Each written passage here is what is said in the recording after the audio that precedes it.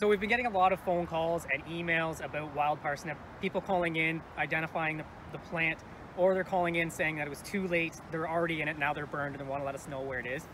So first off, this plant right here is the wild parsnip. Uh, it's easily identifiable, although it looks very similar to other plants such as, uh, as wild dill. Um, they've got the yellow flowers, they've got the jagged leaves. They grow about to be uh, about a meter and a half in height. Um, this They end up getting a bunch of seeds, very similar to this here. They're round, flat seeds.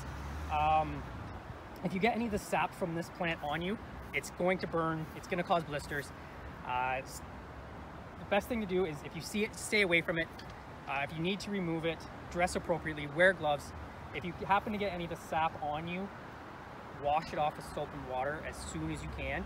If you start to blister up, or if you have any burns, seek medical attention. It also makes you very sensitive to sunlight, so if you do get it on your skin, get out of the sun, seek shelter, and get it washed off your skin. If you have any seeds on you, or uh, any parts of the plant on you, clean it off. If you have a pet with you, clean your pet off, wash your pet. Any tools, equipment that come near it, uh, make sure that they are thoroughly cleaned off. When you clean them off, do it in a paved area or in a car wash or something where the plant is not likely going to spread.